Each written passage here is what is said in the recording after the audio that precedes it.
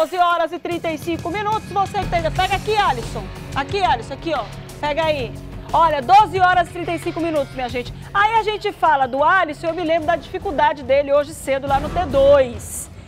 Teve um dia que ele teve que pular a catraca porque não tinham, não tinham troco na catraca, né? E aí aquela história, estão corrigindo aqui T5, o diretor está me dizendo que é T5, mas ele me mandou uma mensagem cedo dizendo que era T2. Ele mandou T2, mas tudo bem, T5. E aí a novela do troco da passagem de ônibus é uma novela mexicana que não tem fim. Desde fevereiro, os passageiros do transporte público de Manaus sofrem com essa falta de troco. Ou melhor, 20 centavos é que é o problema. Hoje, as comissões de transporte de defesa do consumidor da Câmara Municipal de Manaus realizaram uma reunião com representantes da Superintendência Municipal de Transportes Urbanos, a SMTU. E quem foi lá fazer foi a Priscila Gama. E a gente vai trazer a reportagem aqui na tela.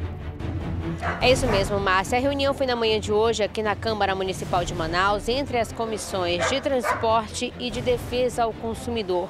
Só neste mês foram pelo menos 200 denúncias no site da prefeitura pelo problema né, da falta de troco nos ônibus. E aí as comissões se reuniram para definir alternativas de como solucionar o problema. O Sinetran disse né, que já solicitou ao banco moedas de 10 centavos. Ele atribuiu essa dificuldade, né, o problema ainda ser pertinente nos ônibus e disse também que vai ampliar os pontos de vendas de para abastecer os cartões estudantil e Vale Transporte. Agora, o Sindicato dos Rodoviários disse que os cobradores também são penalizados com esse problema da falta de troco. Não é só o usuário que muitas das vezes precisa descer do ônibus e ter que pegar outro ou até mesmo andar, né? Ter que ir a pé até os terminais para poder passar na catraca. O cobrador também é penalizado, né? Quando eles não sofrem agressões por parte dos passageiros passageiros,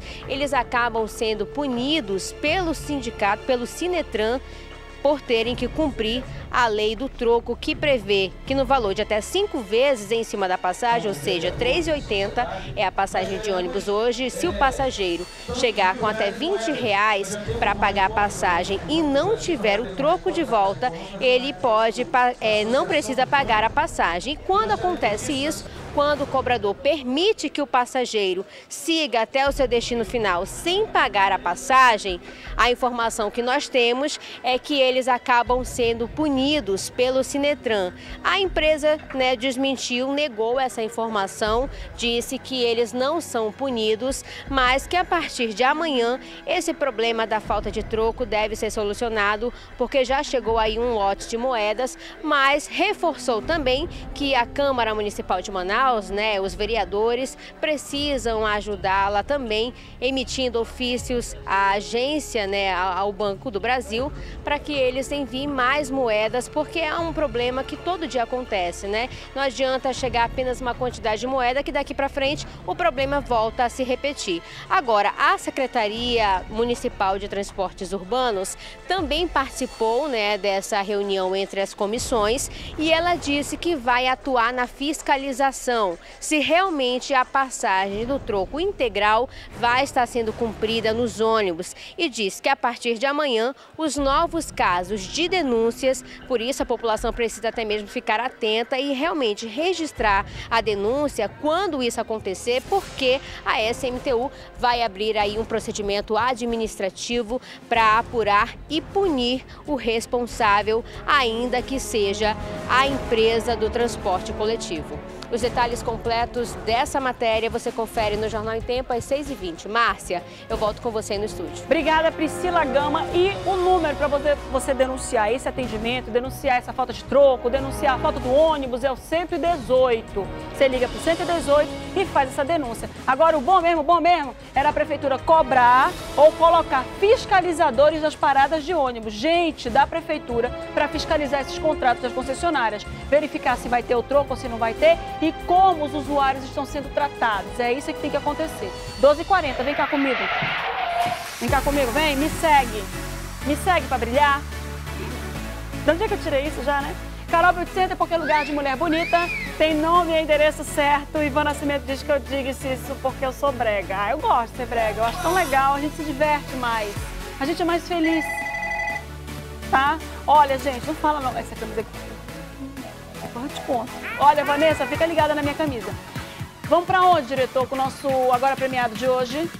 Agora Premiado, então solta a vinheta do Agora Premiado. Agora Premiado não há, solta a vinheta, vai.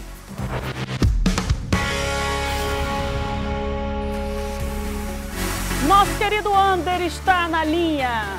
E o Ander vai trazer para a gente a ligação e, e o, a frase para você poder levar um vale presente no valor de 100 reais da Carol Beauty Center, que tem dois endereços.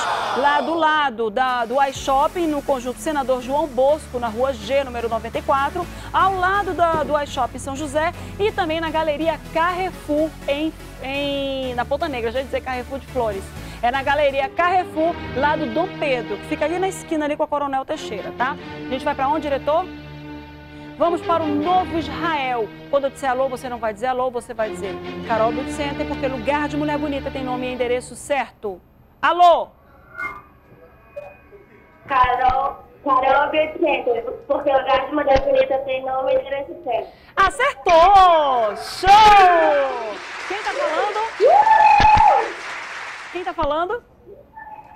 Elzilene. Noêmia? Elzilene. Luzilene. Euzilene. Nem Luzilene, não. Euzilene. Euzilene. Elzilene. Euzilene. É isso? Isso. Euzilene. Venha buscar amanhã, Euzilene, o seu Carol Beauty Center com toda a família, tá bom? Tá bom. Na hora do programa. Tá. Tá bom, Euzilene? Tá. Tem marido, namorado, Euzilene?